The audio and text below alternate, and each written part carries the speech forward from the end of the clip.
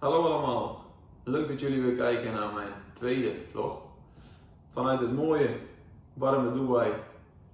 Ehm, de eerste vlog is hartstikke goed ontvangen. Dus is hartstikke leuk, veel, eh, veel leuke positieve reacties gekregen. Dus ook in deze tweede vlog zal ik jullie even meenemen op wat wij de afgelopen week hebben gedaan. Want we zijn natuurlijk inmiddels twee weken al in Dubai. Ehm, dus wel even goed om te vertellen wat we de afgelopen week hebben gedaan en waar we tot nu toe staan, denk ik. Dus hierbij vlog nummer 2. In deze vlog kan ik jullie helaas niet zoveel laten zien.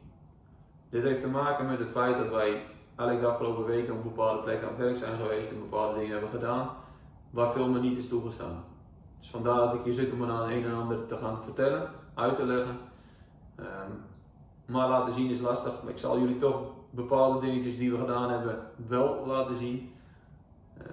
Maar het meeste zal vanuit vertellen zijn, dus op deze manier. Allereerst nog even kort over Dubai zelf. Ik begreep dat een aantal van jullie vorige week dachten dat Dubai op zich een land was. Uh, dat is helaas niet zo. Dubai is geen land. Dubai is namelijk een emiraat.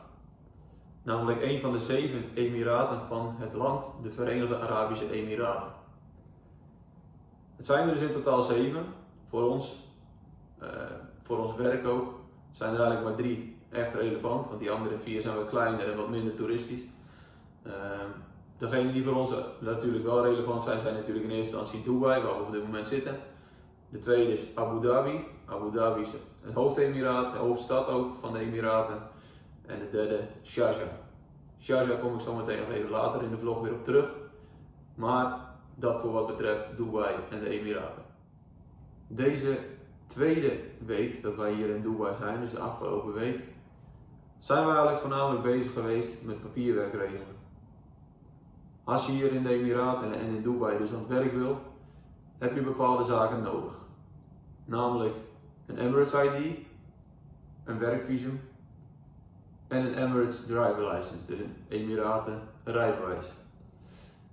Op dit moment zijn we zover dat we het visum, het werkvisum geregeld hebben, dus dat is klaar. Uh, het Emirates ID is aangevraagd. De hele aanvraagprocedure is klaar. En eigenlijk zijn we gewoon aan het wachten tot alles goedgekeurd is en we hem binnen hebben. Uh, en het laatste stukje rijbewijs kunnen we helaas pas regelen op het moment dat we het Emirates ID binnen hebben. Dus dat duurt nog even. Tot die tijd kunnen we hier gelukkig wel gewoon rijden op ons gewone normale Nederlandse rijbewijs. Uh, als toerist zijnde. maar het is natuurlijk wel de bedoeling dat we die zo meteen, als we echt inwoner zijn van Dubai, en de Emiraten. Dat we die om gaan wisselen voor een Emiraten-rijbewijs. Omdat wij dus op dit moment simpelweg nog niet aan ons eigen project kunnen beginnen, omdat dus het papierwerk nog niet ja, binnen is allemaal, uh, werken wij tot die tijd bij Sharjah. Nou, bij Sharjah is het dus niet toegestaan om daar te filmen. Uh, dus ik kan jullie daarin weinig laten zien. Ik kan jullie wel even kort een filmpje laten zien van het stadion van Sharjah.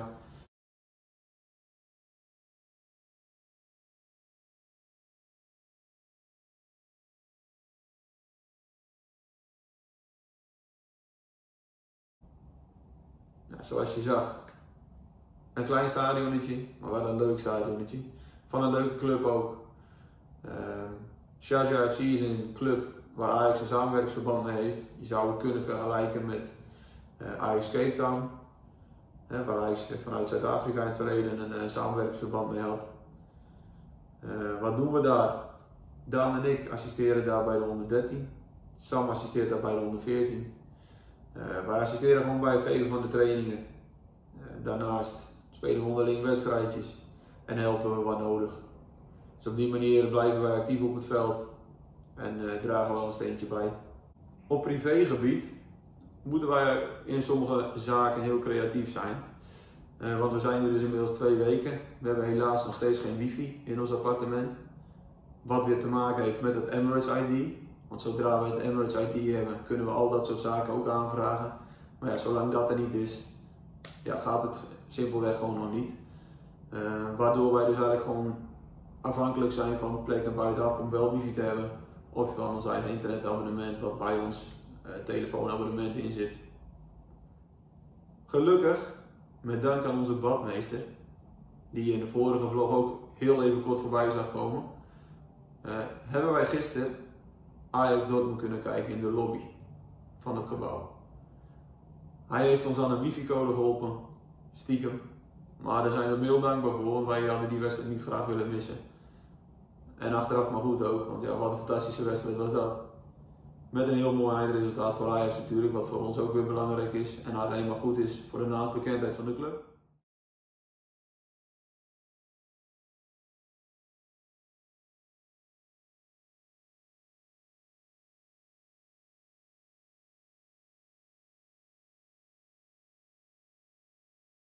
Daarnaast hebben we afgelopen weekend ook hier in een klein Turks restaurantje Heerenveen Ajax kunnen kijken. Dus uiteindelijk de wedstrijden kunnen we gelukkig nog steeds wel een beetje, een beetje zien. Uh, dus dat gaat gelukkig allemaal wel door.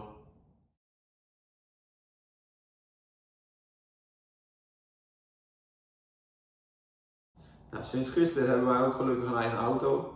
De eerste twee weken hier hebben we helaas geen eigen auto gehad, waardoor we niet heel erg mobiel waren. Want we waren namelijk heel erg afhankelijk van Uber. Als wij iedere keer naar Sharjah toe moesten, naar de club, wat ongeveer 40 minuten rijden is vanaf hier, ehm, ja, dan werd dat gelukkig allemaal wel weer vergoed.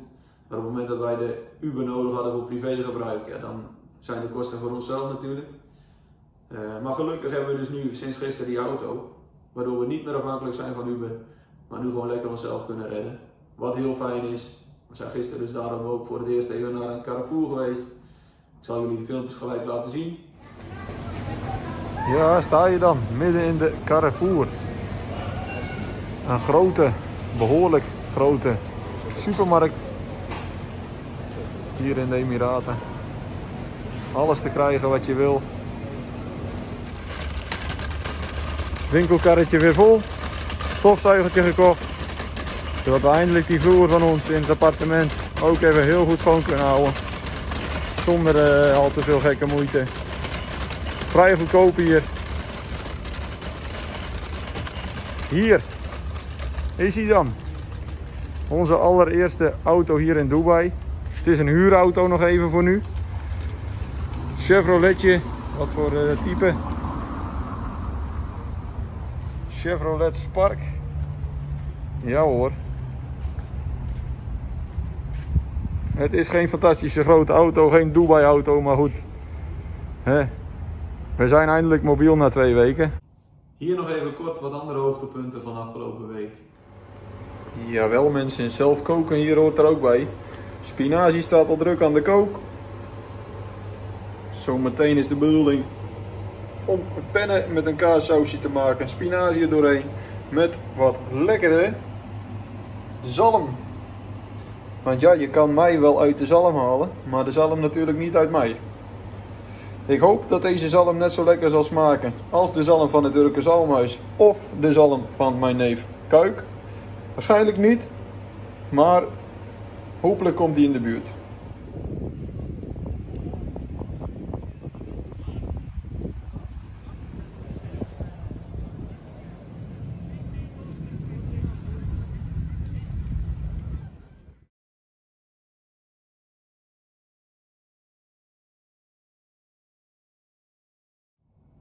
Oké mensen, dat was hem alweer voor deze week. Bedankt voor het kijken en tot de volgende keer. Hoi hoi.